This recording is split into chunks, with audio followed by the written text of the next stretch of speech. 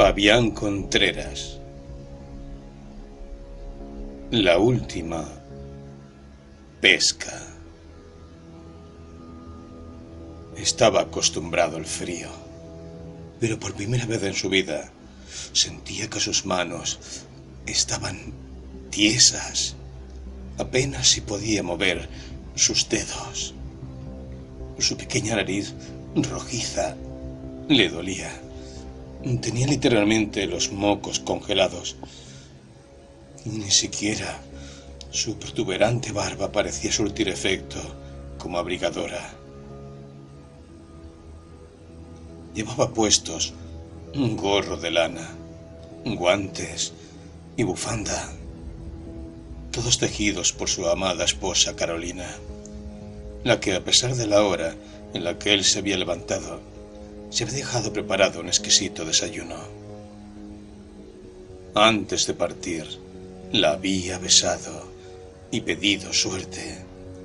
Siempre lo hacía porque sentía que su mujer era una especie de milagro. También besó la frente de sus dos pequeños hijos, que de manera increíble estaban ya en su cama, ocupando el espacio que acababa de desocupar. Se había quedado allí un momento observándolos mientras dormían, escuchando la respiración profunda de cada uno. Los tres estaban abrazados y a pesar de que tenían los ojos cerrados, se notaban legañosos, como si hubiesen estado llorando hasta altas horas de la noche. ¿En qué momento crecieron tanto?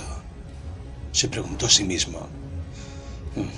Son maravillosos, afirmó después.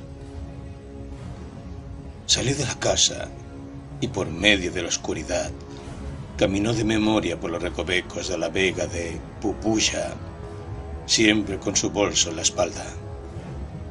Resonaban en el interior el golpeteo entre el termo lleno de café, su cuchillo, su linterna, su amada lámpara de queroseno y su libro de cuentos de Franz Kafka. Sería una larga jornada, pero que con toda confianza traería consigo la providencia. Esperaba a José desde las cuatro de la mañana. Había pasado más de media hora y éste aún no aparecía. Para tener buena pesca hay que saber levantarse temprano, le había enseñado a su padre. El mar resonaba furioso y violento, y la luna llena lo miraba compasiva. Pronto comenzó a saltar y a mover los brazos en un intento por generar calor. Y mientras lo hacía, decidió que si José no llegaba en diez minutos más, tendría que ir de pesca solo. Mientras seguía moviéndose y hundiendo cada vez más profundo sus pies en la oscura arena, Pensó en el accidente que había sufrido la semana anterior. Había estado realmente a punto de morir. ¿Quién, en su sano juicio, hubiese salido de pesca con semejante tormenta? Por supuesto que él. Su situación económica había pasado de deplorable a paupérrima. No podía ya soportar ver a sus hijos con harapos, ni a su esposa con aquellos dolores terribles de espalda, sin tener un céntimo para llevarla a un hospital decente. Oscuras nubes arreciaron de pronto en el firmamento. La luna se vio ahogada por estos y por un instante pareció como si le pidiera auxilio. Una pequeña brisa tibia le rozó el rostro y comprendió que una vez más habría tormenta. Tuvo casi la absoluta certeza de que su amigo José no había asistido a causa del miedo, pero le comprendió. Su amigo no tenía familia y básicamente los gastos en los que incurría eran más bien del tipo personal. Un par de cervezas para el fin de semana y un poco de efectivo para ir a apostar al bar en un juego de naipes. Esas eran sus prioridades. Aquella era su vida. Se armó de valor y fue tras Carolina Novena, su inconfundible bote amarillo. Lo arrastró y se lo llevó mar adentro. No se iría muy lejos. Tampoco era bueno tentar el destino. Pero si tenía suerte y aparecían por ahí una buena cantidad de róbalos, estaría más que cumplida su misión.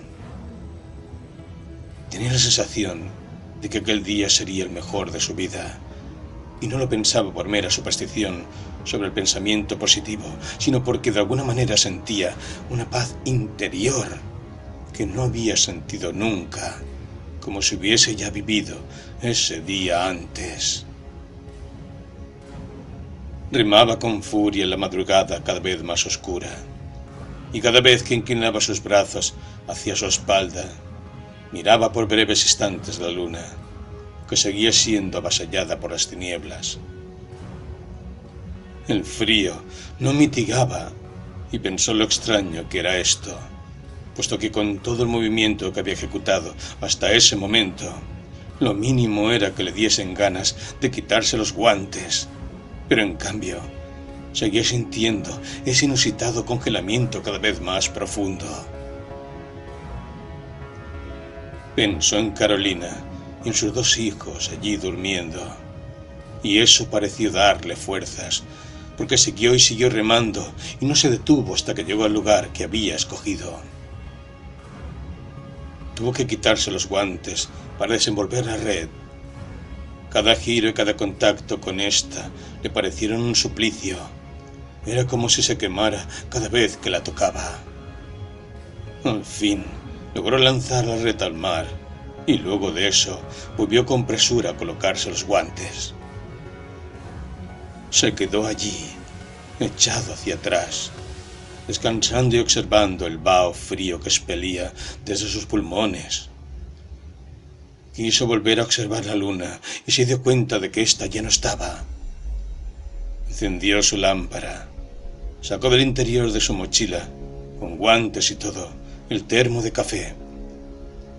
Temblando se preparó una taza y justo antes de comenzar a beber el milagroso verbaje, vio como una gotita caía del cielo directo en el líquido.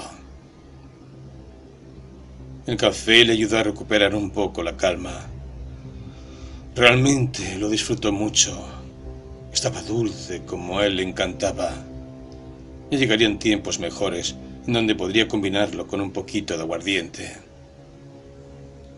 Aún no amanecía y con la luna cubierta, la negrura lo inundaba todo. Las gotas de lluvia se empezaron a multiplicar y el viento empezó a incrementar su fuerza. Por alguna razón se quedó tranquilo. Estaba confiado que todo saldría bien. Miraba a su alrededor y de pronto vio todo suceder como en cámara lenta. El vaivén del bote sorteando las olas, la lluvia cayendo tímidamente en el mar, su red amarrada al bote que comenzaba a temblar y a su costado le pareció ver el rostro de una persona. Se quedó un momento estupefacto pero pensó que no era nada más allá que una ilusión óptica, una especie de espejismo. Con un impetuoso trueno, la tormenta se desató, y aunque al principio fue una lluvia tranquila, con poco viento y suave, pronto se convirtió en una tempestad. El bote se movía arriba y abajo,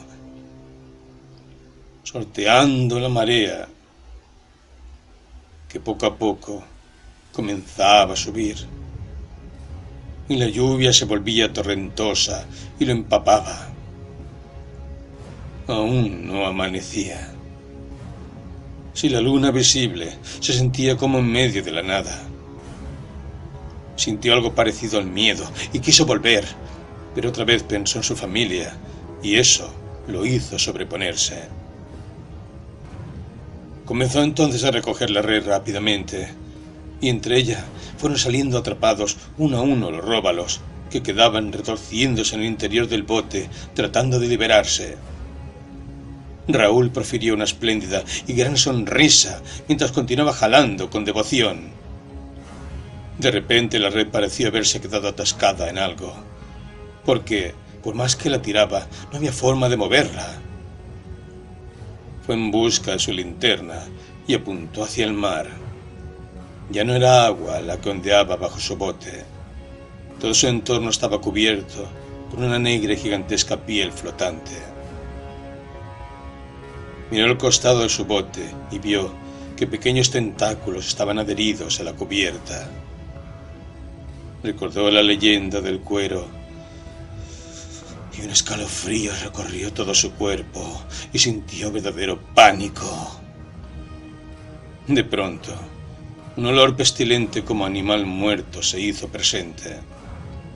Los goterones de lluvia golpeaban en esta negra piel, produciendo un sonido similar al que produce un paraguas bajo la lluvia. La gran mancha negra se movía al ritmo del oleaje. Raúl tomó uno de sus remos y comenzó a golpearla. Cada golpe producía, además de un chapoteo, un sonido sordo en el choque de los remos contra aquella piel dura. En ese momento puso más atención y con la linterna recorrió toda la asquerosa piel. Con mayor detalle pudo ver que pequeños pelos la cubrían por completo. Sintió unos gritos, apuntó más al fondo y vio como un hombre luchaba contra lo que fuera que fuese aquella oscura piel flotante. Se devolvió otra vez a su bolso y sacó su cuchillo. Dio varias puñaladas al cuero y lo atravesó una y otra vez. Definitivamente ya no sentía sus manos, pero aquello lo hacía con ahínco. Asquerosa piel comenzó a retorcerse agresivamente. Varios róbalos se soltaron y cayeron encima del cuero y fueron engullidos por este. Raúl, como podía, trataba de mantenerse erguido, pero estuvo a punto de caer y en un acto de completa inercia tomó por instinto la pequeña lámpara de queroseno y la estrelló contra el cuero. Una pequeña explosión se produjo, efecto del derrame del combustible, cuando la lámpara colisionó con la negra y peluda piel. Y solo eso bastó para que el cuero se retorciera y poco a poco soltara sus presas. El bote y el hombre, que hace algún rato había dejado de gritar. Ahora, firmemente agarrado en la madera del bote, sentía que el movimiento era cada vez más frenético. El cuero parecía encogerse, retorcerse y estirarse. Se notaba que de algún modo estaba sufriendo o había caído en algún estado de pánico. A lo lejos, las luces del crepúsculo comenzaron a ser visibles, y unos pocos metros más allá del bote pudo ver cómo flotaba el hombre que antes gritara y luchara por su vida. Remó hacia él y a los pocos segundos ya se encontraba junto al cuerpo sin vida de aquel desconocido. Las prendas de ropa se notaban desgarradas y los lugares donde había piel tenía la carne viva y sangrante. Una vez que estuvo cerca, lo agarró con todas sus fuerzas de lo que quedaba de chaleco, y como si le estuviese dando un abrazo, lo subió al bote con mucho cuidado de no darse vuelta. Estaba tieso, tal como habían estado sus manos cuando todavía las sentía. Pensó que recogerlo era lo correcto. Quizás era un pescador al igual que él y merecía santa sepultura. La lluvia llevaba ya rato detenida y hasta ese momento recién se había percatado. La luna llena comenzaba a despejarse y se le veía entre medio aún de nubarrones, pero cada vez más débiles. Cayó en la cuenta de que había perdido un par de peces en su travesía, pero en definitiva llevaba por lo menos una docena de hermosos róbalos y eso era más que bueno, dada todas las circunstancias. Carolina y los niños estarían felices una vez llegara a casa. Cuando se acercó al fin a la orilla del mar, se bajó y arrastró su bote y lo amarró en el muelle. Recogió todos los peces y llenó una gran cubeta metálica que tenía bajo los, los bajos de la cubierta. Al lado de esta yacía el hombre muerto con la cabeza gacha. la ropa resgarrada y sus heridas expuestas. Por alguna extraña razón no sentía miedo, y ya no sentía ni frío ni cansancio, aunque la noche le había parecido eterna. Se agachó junto al muerto y le tomó la barbilla. Justo en ese instante la luna iluminó de lleno el rostro al cadáver y fue como si Raúl se hubiese estado viendo en un espejo. Su mismo rostro, su misma barba, sus mismos ojos, aunque ahora muertos, y su misma boca con una mueca horrible y con la lengua afuera. Lo soltó y siguió asustado. Quiso observarse sus propias manos, pero ya no las veía. Quiso observar su propio cuerpo, pero tampoco estaba allí.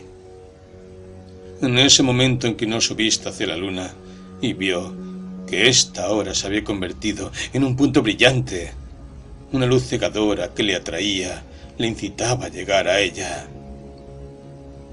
La observó detenidamente y aquella luz le condujo lente naturalmente hacia su otra vida. Carolina, Matías e Ignacio habían pasado toda la noche llorando.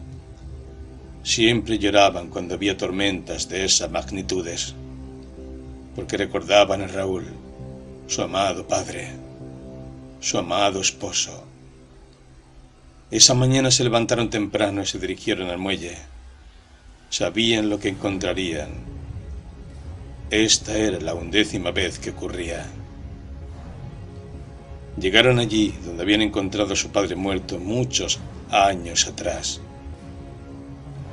Todo estaba como esperaban. El bote amarrado al muelle y en el interior una cubeta llena de peces frescos. Niños, den las gracias al papá, dijo Carolina con la voz quebrada, los ojos entumecidos, la nariz roja y una lágrima recorriendo su mejilla izquierda. Ambos niños, mientras se subían al bote, gritaron al unísono. Gracias, papá.